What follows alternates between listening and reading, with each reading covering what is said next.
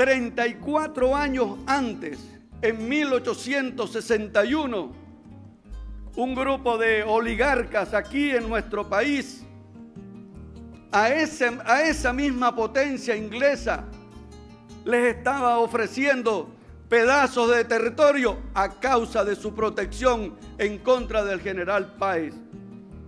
Qué posición tan digna de nuestro general, quien defendió lo que la oligarquía quería entregar. Sostengo tu palabra, el corazón del pueblo, para que no se caiga